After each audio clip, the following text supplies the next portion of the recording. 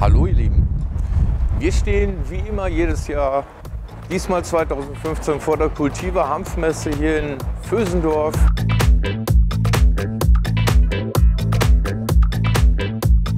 Verkaufst jetzt auch Carrera-Bahn? Ja, nein. Try to speak Netherlands. Goedemiddag. Hoor, hoor je mij? Kan je me horen? Can you hear me? Yeah, i- it's, it's Deutsch television. Ja, but you said Netherlands. So, hast du uns irgendwas Neues mitzuteilen?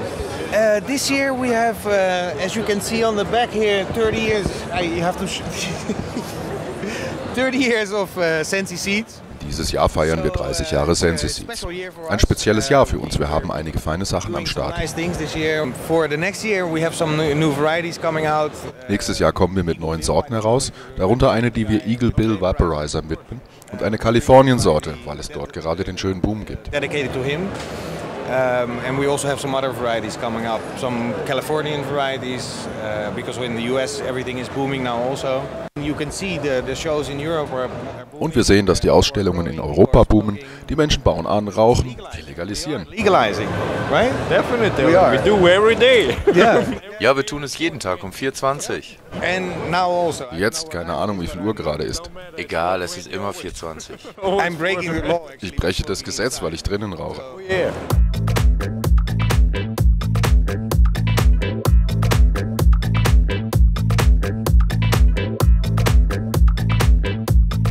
Wie genau schätzt ihr jetzt die Situation ein? Wird es eigentlich eher äh, besser oder habt ihr eher das Gefühl, äh, dass es schlechter wird? Wie kann man da irgendwie was drüber sagen? we make progress. But uh, when you make progress, you also see that the situation gets more complicated. Wir machen Fortschritte, aber das verkompliziert die Situation natürlich. Die Regierungen sind jetzt herausgefordert, eine Lösung zu finden, weil immer mehr Menschen sich als Cannabiskonsumenten präsentieren und eine vernünftige Regulierung des Cannabismarkts wünschen. Dare to say they are cannabis consumers and they want to have a decent regulation of the, the cannabis market. Cannabis social clubs are popping up in various European countries. CSCs tauchen in verschiedenen europäischen Ländern auf. Sie fordern das Gesetz und den Status quo heraus, mit ihrer eigenen Lösung vom Schwarzmarkt unabhängig zu werden, weil sie der Prohibition nicht folgen.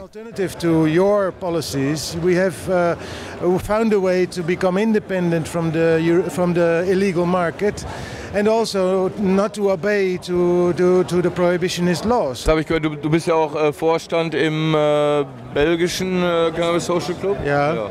Ähm, und der äh, läuft ja eigentlich schon regulär. Ja, was ist regulär? Versteckt ihr euch da auch oder, oder ähm, wie läuft das da genau? We, we, we operate openly in the sense that we do not hide ourselves. We give interviews to newspapers.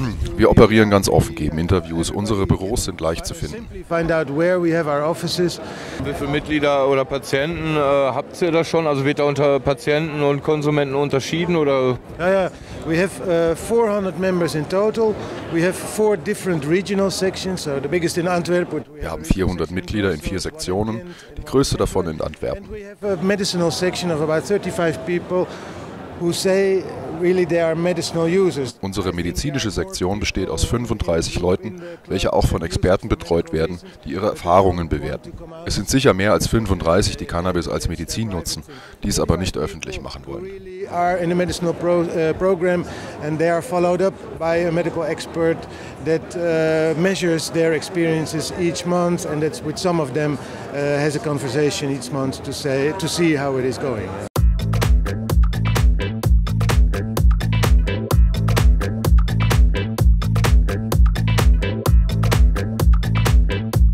Wir haben fleißig gesammelt. Es geht hier um die, äh, eine Bürgerinitiative für den straffreien äh, Eigenanbau durch, Canna äh, durch Cannabispatienten. Also dass, dass es Cannabispatienten erlaubt wird, äh, ihre Medizin zu Hause anbauen zu dürfen. Ähm, da machen mi- äh, viele mit und es ist initiiert von der AG Kana.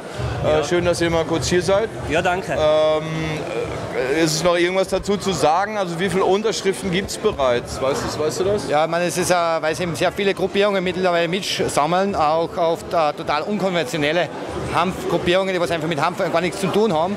Das ist jetzt momentan schwer zu einschätzen. Es sind aber mal bisher, was ich aus verschiedenen Kreisen gehört habe, über 10.000 Stimmen äh, korrekt okay. unterschrieben worden. Und das Ziel, äh, wirklich 60.000 oder noch mehr anzusteuern, es ist, wird immer genialer, habe ich am Anfang gar nicht glauben können. In diesem Fall geht es in erster Linie um Medizin und Patienten.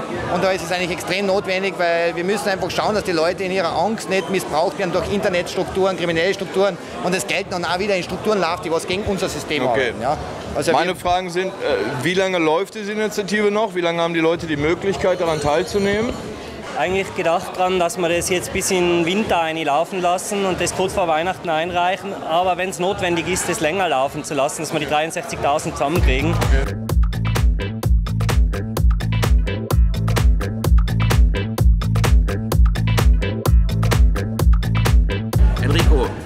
Italien äh, gibt es jetzt auch Social Clubs, habe ich gehört. Ja, es gibt etwas unter dem Radar. Das Problem ist so, dass wir nicht gleichgesetzt der Hanfkonsum mit Hanfanbau.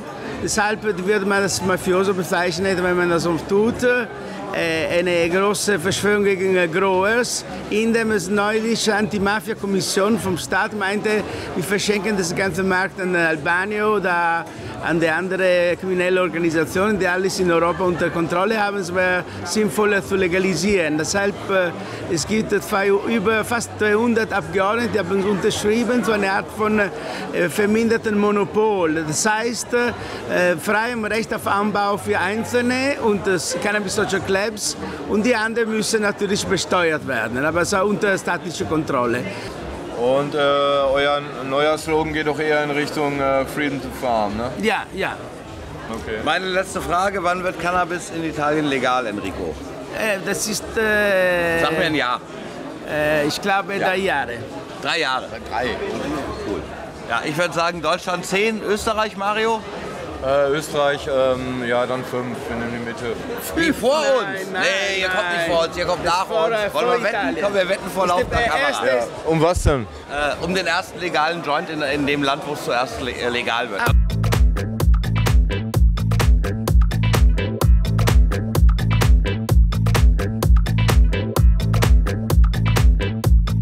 I'm very happy. Um, I like very much Cultiva Fest. It's a very nice place. All right. So what's new? Something special with? Yeah, this year we are celebrating. Dieses Jahr feiern wir unser zehnjähriges Jubiläum. So it's a really special year. Here is the special Zu unserem Sweet Seeds Gewinnspiel. Sweet Seeds Vanessa. Yeah. She want to ask you something, and if you guys get the right answer for us, you will get some gifts. Okay.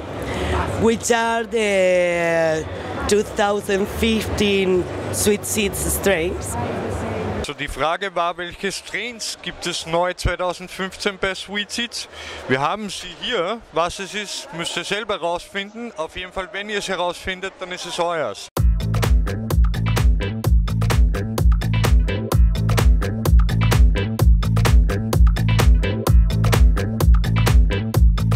Was hältst du von der Eröffnung von dem äh, Hanfmuseum, was da jetzt aufgemacht wurde? Äh, ja, ich, äh, einerseits natürlich, ich, es gibt immer die Geschichten, dass ich gegen die Legalisierung bin. Ich bin für die Legalisierung, äh, nur ich bin mir jetzt noch nicht sicher, ob das wirklich ein geeigneter Schritt ist, um die Legalisierung zu beschleunigen. Die haben Sie das ja schon mal abgelehnt. Du wolltest auch irgendwas mit Blühen und Ich habe an das Gesundheitsministerium eine, eine, Anfrage gestellt. Ich wollte eine Samenzucht haben, die im Wesentlichen genauso ausgeschaut wie das äh, Hanfmuseum, auch mit Videoüberwachung und notarielle Vernichtung der, der Ernte.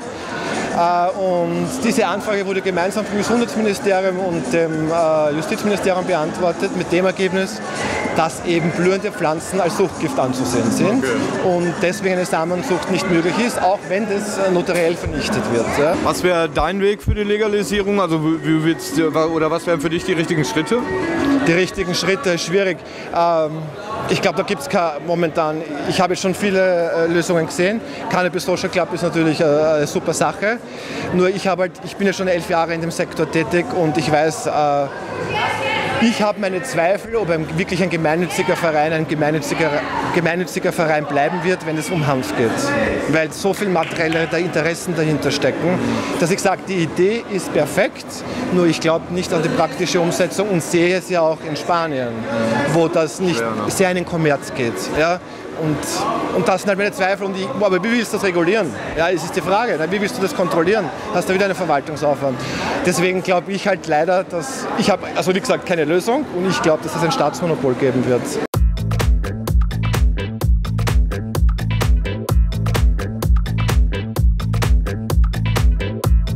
Hier riecht's nach Hanf. Ja, ich muss dich natürlich auch mal besuchen hier. Gibt es bei euch eigentlich äh, äh, Neues, Neuigkeiten, neue Produkte irgendwie, was ihr anbietet? Ja, natürlich. Wir sind voll am Entwickeln, voll am Weitermachen. Wir werden jetzt eine E-Cigarette auf den Markt bringen und haben zur Messe ähm, CO2-Extrakt in Kapselform ah, okay. äh, auf den Markt gebracht. Außerdem gibt es noch ein super neues Buch über CBD, auch bei uns erhältlich. Ist auch immer wieder gefragt, sowas, ja, ne, weil die Leute sich echt natürlich. auskennen. Ja, genau, richtig. Ähm Und da wir keine medizinischen äh, Auskünfte geben dürfen, ist das natürlich optimal. Ja, absolut. Super. Und die dürfen das, ne? Die dürfen das. Du, das ist der Dr. Franjo. Wieso dürfen eigentlich Bücher darüber Auskunft geben und, und, und Dinge? Das ist total blöd, oder? Weil das ein Arzt geschrieben hat. Also müssen wir erst studieren. Ja, genau. Ah, Im nächsten Leben. Hey, äh, jetzt gibt es bei euch jetzt von Scheiße. Wie läuft das eigentlich? Ähm, äh, wir haben echt einen riesengeilen Sommer gehabt, 35 Grad und dann auf einmal pff, Winter. Was, was, sagst du dazu als, als äh, Hanfanbauer? Ja, der Sommer war ein bisschen problematisch, weil wir in zehn Wochen nur genau eine Nacht Regen gehabt haben. Das war definitiv zu wenig. Also wir haben ungefähr 50 Prozent Ernte einbußen. Aber nichtsdestotrotz sind wir heuer, ähm, haben wir 200 Hektar angebaut. Das heißt, top. Produktion läuft. Ja, ja genau. Zeigen jetzt. den Zuschauern doch vielleicht demnächst mal, wie ihr so arbeitet. Und, ähm Na, wollt ihr mal vorbeikommen? Ja. Na, bitte kommt vorbei und schaut sich die Ernte an. Ja, Würde mich voll zeigen freuen. Euch das ja, in der nächsten Folge mal, wie Medihemp arbeitet und wie das dann in die Flaschen kommt. Ja, wir verlosen jetzt drei sechsprozentige CO2 CBD-Öle. Mhm. Ähm, auf Olivenölbasis. Okay. Und die Frage dazu ja? lautet, was heißt CBD ausgeschrieben? Ja. Ähm, die Abkürzung ist CBD. Was ist die Nicht-Abkürzung? Irgendwie so. genau. Beantwortet es einfach über gewinn.legalisieren.eu. Macht euch selber einen Kopf, wie ihr die Frage beantwortet. Ist auch kein Problem. Viel Glück dabei.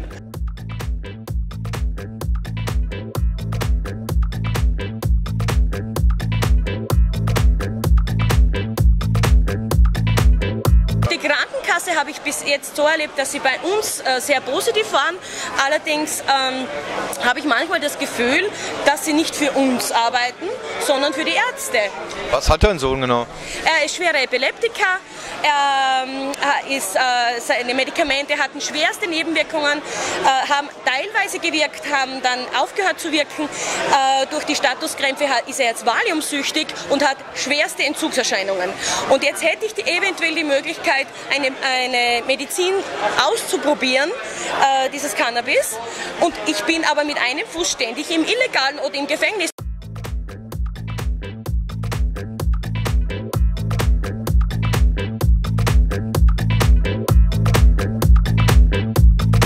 Klein, aber fein, sage ich mal. Was ist äh, bei euch das Besondere? Wieso ähm, äh, anderes Gas? Ähm ja, klein aber fein würde ich mal sagen, trifft ziemlich gut, weil ähm, das Gas bietet gegenüber den konventionellen Methoden, also äh, hier ist jetzt explizit Butan gemeint, ähm, doch überragende Vorteile. Dimethylator, also Dextro-DME, Dimethylator ist das, was drin ist, und zwar in hochreiner Form. Ähm, Dimethylator ist ein Gas, auch wie das Butan, mit dem Unterschied, dass es nicht toxisch ist. Es ist nicht giftig. Dimethylator ist aufgrund seiner guten Extraktionseigenschaften und seiner, der Tatsache, dass es nicht toxisch ist, auch ein sehr gebräuchliches Lösungsmittel in der Lebensmittelindustrie. Es ist halt wie gesagt, es wird im Körper abgeatmet. Butan staut sich an und wirkt dann neurotoxisch auf das zentrale Nervensystem. Du, dann die Rakete, die da vor mir steht. Man kennt sie, es ist äh, ein, ähm, ja, erklär es einfach, man extrahiert da kurz mit, das sollten die Leute eigentlich mittlerweile schon wissen. Ähm, was ist daran Besonderes oder was ist daran besser oder gut? Ähm, er kombiniert einige Vorteile. Und zwar, er ist stabil, wie man sehen kann. Er ist selbststehend gebaut. Er ist aus eloxiertem Aluminium gemacht. Das heißt, die Außenschicht des Aluminiums wurde verändert in einem kontrollierten Oxidationsprozess, oxidiert und die Außenschicht ist ein sogenannter, sogenannter Korund. Und ein Oxid, das schon einmal reagiert hat, reagiert kein zweites Mal. Nebst dem ist der Korund, der dadurch entsteht, das zweithärteste Material, das der Mensch kennt.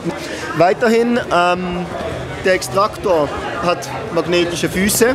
Ähm, der Extraktor hat ein Gewinde.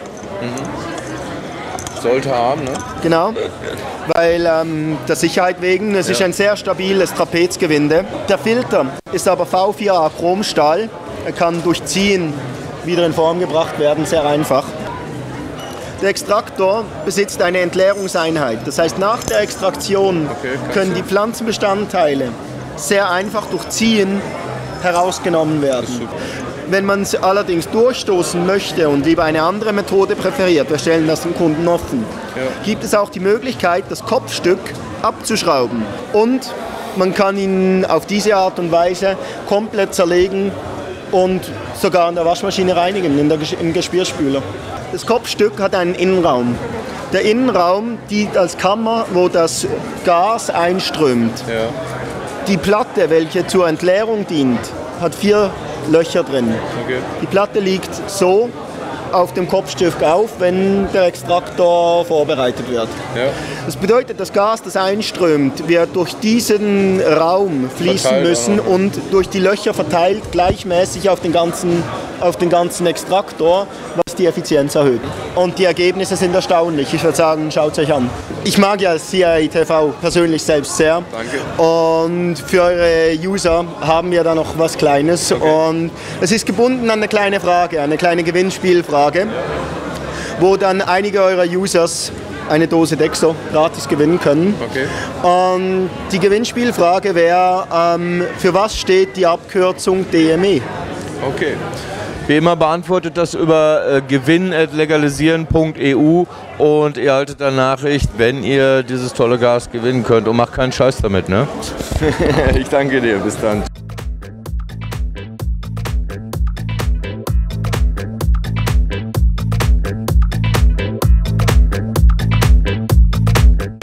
So, ja, Neues von Greenhouse Seeds lässt uns jetzt der Franco wissen. So, you're gonna tell us what's new? Yes, we are very excited uh, about uh, our new project, Greenhouse Medical. Um, we are launching this uh, Mit unseren Greenhouse Medical Seeds wollen wir in den nächsten Monaten auf den Markt. creating, making analysis of high CBD strains. Wir kreieren eine große Datenbank, in der wir hohe CBD- und THC-Sorten auflisten wollen. In the next six months for In den nächsten sechs Monaten starten wir mit der klinischen Trocknung von Extrakten für die medizinische Anwendung. Wir beginnen in Amsterdam und werden es dann auch in Spanien anbieten können.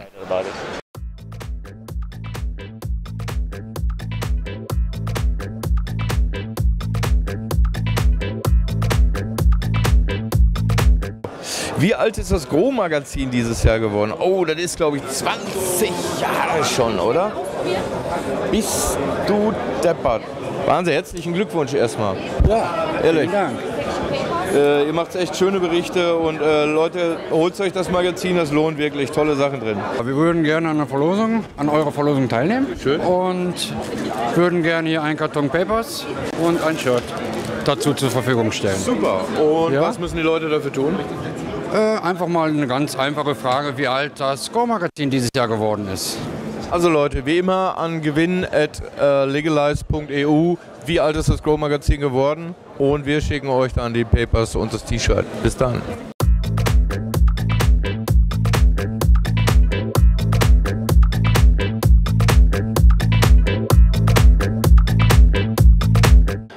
Äh, Michi, gibst du da mal eben was? Wir haben nämlich ungefähr etwas über 1000 oder so Unterschriften für euch gesammelt und möchten die euch hiermit übergeben, ja? Äh, macht weiter so. Ja. Ja, macht weiter so, Jungs. Schön, dass es euch gibt. Ja. Herzlichen Dank. Danke. Bis dann. Ich sage auch danke. Ja. Wir, wir sagen auch, schön, Super. dass es euch gibt. Danke. Ciao.